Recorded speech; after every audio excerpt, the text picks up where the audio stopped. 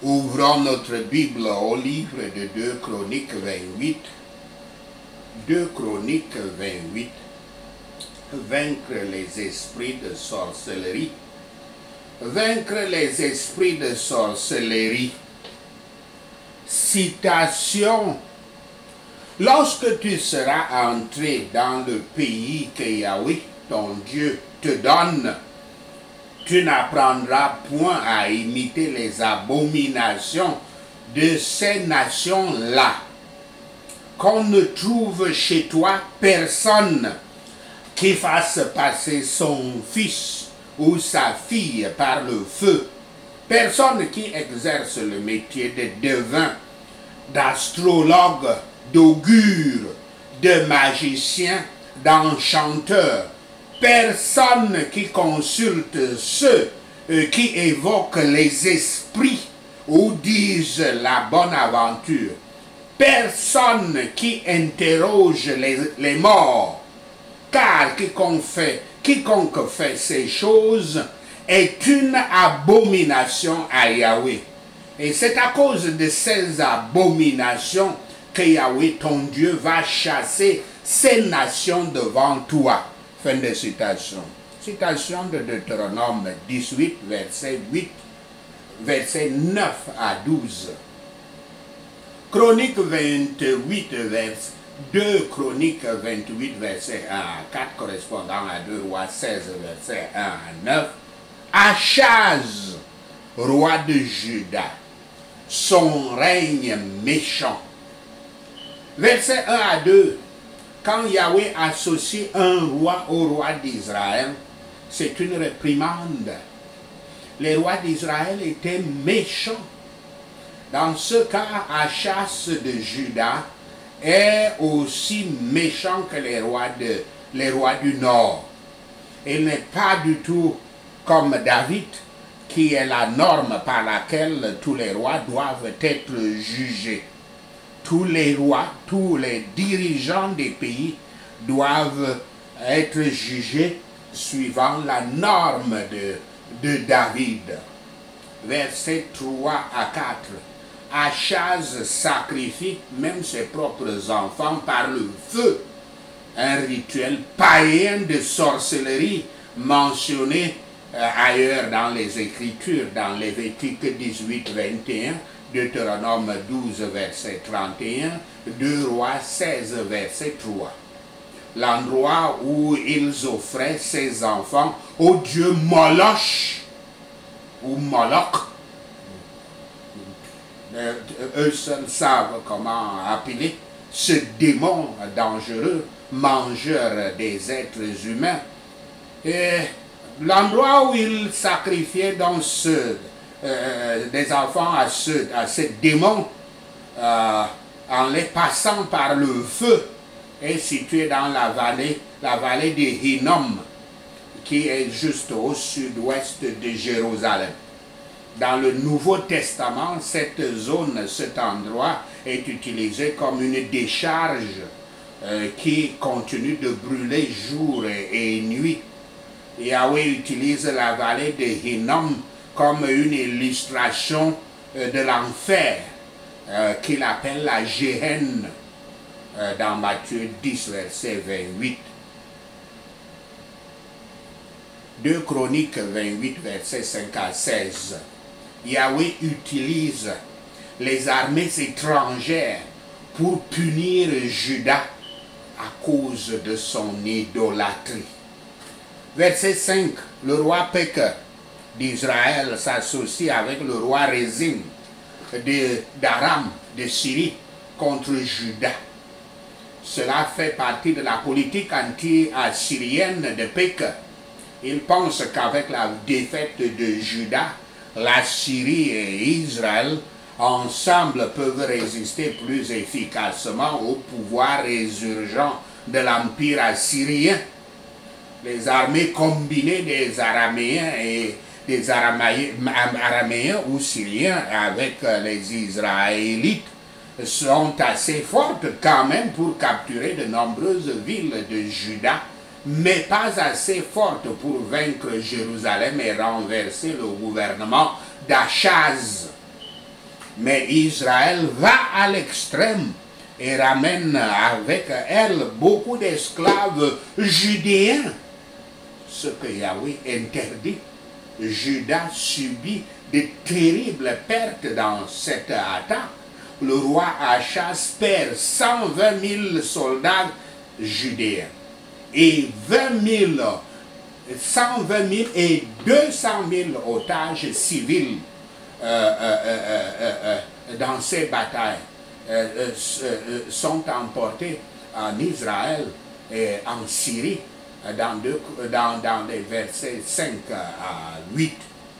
Bien que le royaume se soit divisé, le peuple de Juda et le peuple d'Israël forment un seul peuple. Les Israélites asservissaient ainsi les leurs. C'est un temps sombre pour Juda. Et il semble que la dynastie de David sera bientôt éteinte, comme tant de dynasties euh, dans Israël, le royaume du Nord ayant pris fin.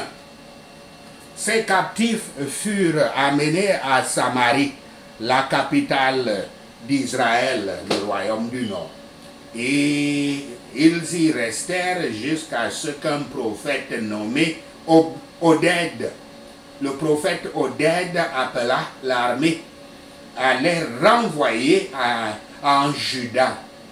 Le prophète Oded reproche aux Israélites de penser qu'ils sont meilleurs que Judas.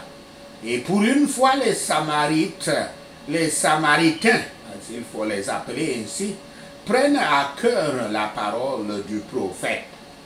Le prophète le peuple, le peuple de Samarie, obéit en fait à l'avertissement du prophète Oded.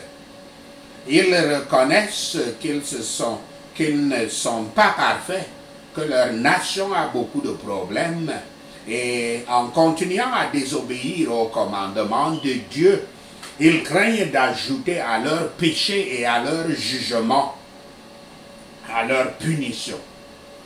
Les dirigeants d'Israël répondent donc, réalisant qu'ils ont déjà offensé Yahweh et risquent de l'offenser davantage.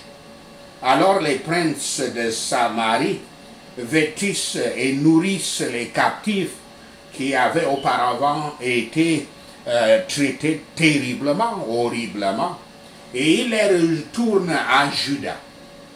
Versets 14 et 15. C'était une pratique courante d'humilier les captifs, et plusieurs fois ils avaient été enlevés complètement, euh, ils avaient été amenés complètement déshabillés ainsi, parce que les Israélites réparent leurs fautes, ces captifs reçoivent des vêtements avec le butin et de la nourriture. Et les faibles reçoivent des ânes pour entrer chez eux. Les Israélites font une bonne chose en libérant leurs captifs. De Chroniques 28, versets 16 à 27. Les invasions de Juda par les Édomites et Philistins. Verset 16. Le roi Achaz envoie des messagers à Tiglath-Pileser, au roi d'Assyrie, demandant de l'aide. De cette façon, il se rend à un ennemi pour en vaincre un autre il refuse de faire confiance au Dieu d'Israël et se soumet lui-même et son royaume à un ennemi d'Israël. Verset 22 à 23. Achaz, Achaz durcit encore plus son cœur et refuse de regarder vers Yahweh. Dans 2 Rois 16, versets 10 à 13, Achaz sert comme prêtre à l'autel de son propre, de, son, de sa propre construction, montrant ainsi un mépris euh, direct pour les ordres de Yahweh concernant les prêtres. Achaz était ainsi un symbole typique pour son époque. Si un roi euh, euh, gagnait une bataille, on supposait qu'il avait l'approbation de ses dieux et que ces dieux étaient plus forts que les dieux de l'armée euh, qu'il avait vaincu. Si Damas a donc vaincu Judas, pour Achas, les dieux de Damas étaient plus puissants que ceux d'Achas, Achas de Judas. Verset 24 à 29. Après la mort d'Achaz, Ézéchias règne en Juda. Bien qu'il soit un grand roi, il ne surmontera pas les ténèbres spirituelles provoquées par son père, le roi Achaz. Le royaume de Juda n'est qu'à environ 110 ans de l'invasion babylonienne qui approche. Même un mauvais leader peut affecter le cours euh, d'une nation euh, euh, pour les générations à venir.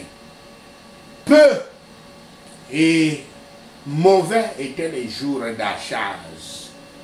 Ceux dont le cœur les condamne iront et, feront, iront n'importe où, iront n'importe où dans un jour de détresse, plutôt que vers Dieu Yahweh.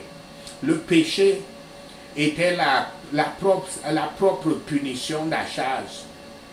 Il est commun pour ceux qui euh, se mettent dans les détroits par un péché d'essayer d'aider, de céder eux-mêmes par un autre.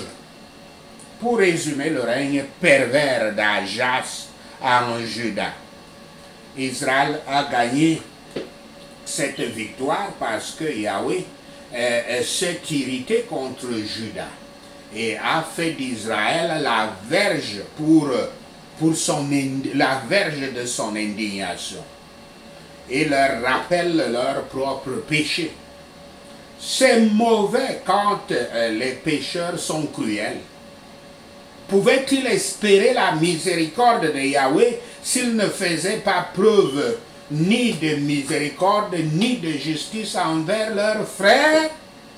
Souvenons-vous Souvenons-nous, souvenons-nous que tout homme est notre prochain, notre frère, notre voisin, sinon le compagnon de notre, de notre prochain. Et aucun homme qui connaît la parole de Yahweh n'a besoin de craindre de prêcher que l'esclavage est contraire à la loi de l'amour et de l'évangile de la grâce. Qui peut tenir son frère dans l'esclavage sans enfreindre la règle de faire aux autres ce qu'il ne voudrait pas qu'il lui soit fait? Mais quand les pécheurs sont abandonnés aux convoitises de leur propre cœur, ils deviennent plus désespérés dans la méchanceté. Yahweh leur ordonne de libérer les prisonniers et ils obéissent. Yahweh amène Judas au plus bas. Ceux qui ne s'humilieront pas sous la parole de Yahweh seront justement, seront avec justice humiliés par ses, par ses jugements, les jugements de Yahweh. On trouve souvent que les méchants eux-mêmes n'ont aucune affection réelle pour ceux qui se révoltent contre eux et qu'ils ne se soucient pas de leur faire du bien. C'est cela, ce roi Achas, cet homme misérable. Ceux-là sont méchants et vils, en effet, qui deviennent pires par leurs afflictions, au lieu d'être améliorés par elles qui, dans leur détresse, transgressent encore davantage et ont leur cœur plus déterminé à faire du mal. Mais il n'est pas étonnant que les afflictions et les dévotions des hommes soient égarées quand ils, se méprennent, quand ils se méprennent sur l'auteur de leur trouble et sur celui de leur aide. Les progrès de la méchanceté et de la misère sont souvent rapides.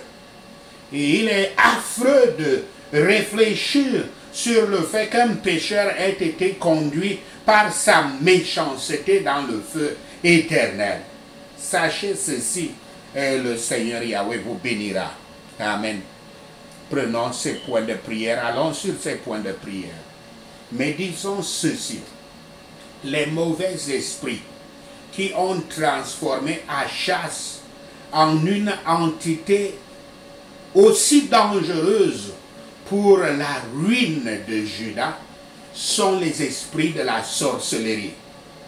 Ce sont des démons qui poussent les gens à pratiquer des abominations énumérées dans Deutéronome 18, versets 9 à 12.